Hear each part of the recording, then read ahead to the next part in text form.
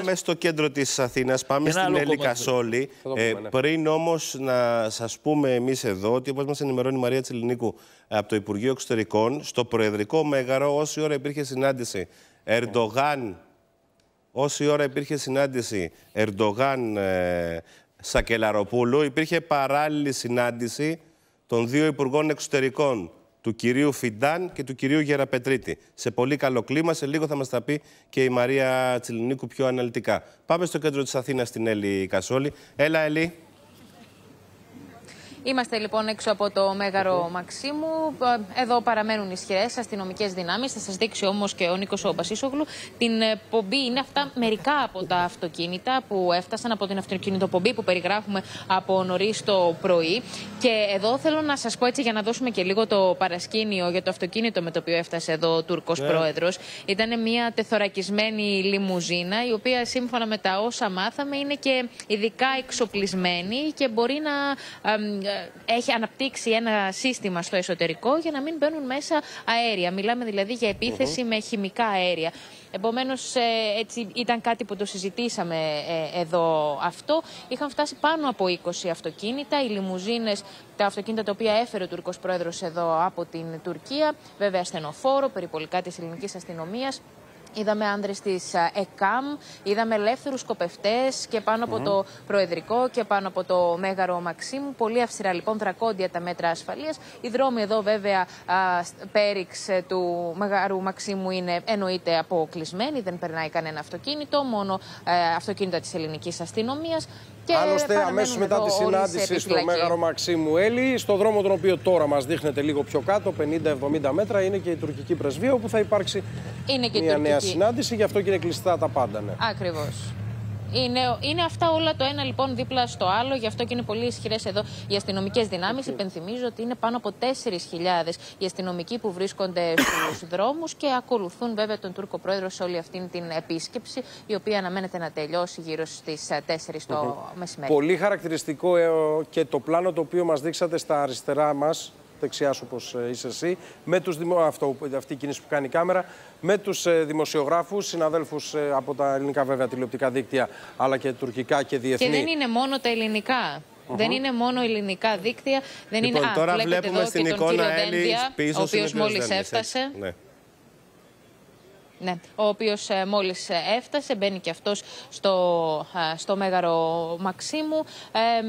και να συμπληρώσω αυτό που λέγατε προηγουμένως για τους συναδέλφους που βρίσκονται εδώ. Είναι πραγματικά και αυτή η εικόνα εντυπωσιακή. Είναι uh -huh. όλες οι κάμερες πέρα για πέρα σε όλη την Ηρόδου Αττικού στημένες και δεν είναι μόνο Έλληνες και Τούρκοι δημοσιογράφοι. Είναι και από άλλα δίκτυα και Γερμανούς άκουσα και στα αγγλικά άκουσα κάποιοι να μιλούν. Υπάρχει λοιπόν πολύ μεγάλο ενδιαφέρον για αυτή τη συνάντηση όχι μόνο από τα δικά μας μέσα.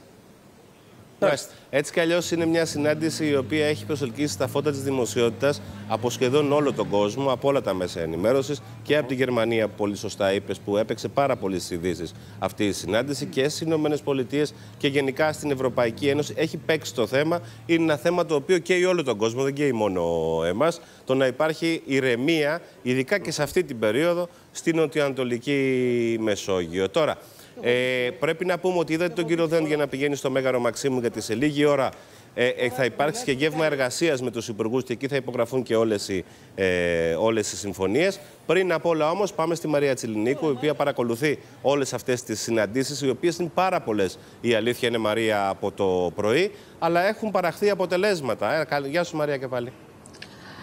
Κάποιες συναντήσεις έχουν ολοκληρωθεί, κάποιες είναι σε εξέλιξη. Όταν ολοκληρωθούν όλες οι συνομιλίες των Ελλήνων Υπουργών με τους Τούρκους ομολόγους, θα μεταφερθούν στο Μέγαρο Μαξίμου για το Ανώτατο Συμβούλιο Συνεργασίας, όπως είπατε και εσείς. Ενώ, σύμφωνα με πληροφορίες, παράλληλα με την συνάντηση του Τούρκου Προέδρου με την Κατερίνα Σακελαροπούλου, πραγματοποιήθηκε και η συνάντηση του, ε, του Έλληνα Υπουργού Εξωτερικών Γιώργου Γεραπετρίτη με τον Τούρκο Υπουργό Εξωτερικών Χακάν Φιντάν. Ήταν, όπως μας αναφέρουν πληροφορίες μας, σε πολύ καλό κλίμα. Ενώ σε πολύ καλό κλίμα ήταν και η συνάντηση που είχε, το τέτα, που είχε το λιγόλεπτο τέτα τέτ στην VIP αίθουσα του αεροδρομίου με τον Τούρκο πρόεδρο, ο Έλληνας Υπουργός Εξωτερικών. Μάλιστα. Ε, είναι αυτό το που ψάχναμε να βρούμε, αφού προσγειώθηκε Μαρία, κάναμε την περιγραφή, αφού προσγειώθηκε το αεροσκάφος του Ερντογάν, 10 και μισή άνοιξε η πόρτα και βγήκε ο Ερντογάν από το αεροσκάφος.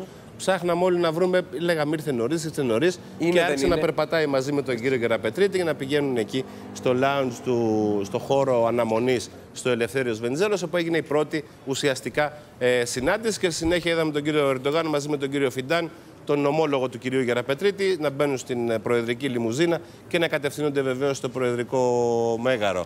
Λεπτομέρειες, κύριε Πάντως, Κρασά, οφείλω όλα να αυτά που σας κάνουν πω- διαφορά. Ναι, Έλα, Μαρία, Μαρία. ναι, ναι, ναι, ναι.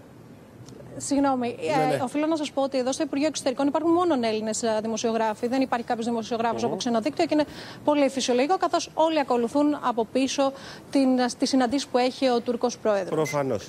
Ε, Ένα θέμα επίσης το οποίο Ελάτε, κύριε Κρασά. πιστεύω δεν, θα, δεν γίνονται ερωτήσεις, δεν θα γίνουν, ερω- δεν θα, ασκ- δεν θα, δεν θα γίνουν ερωτήσεις γιατί υπάρχει το θέμα του Ισραήλ.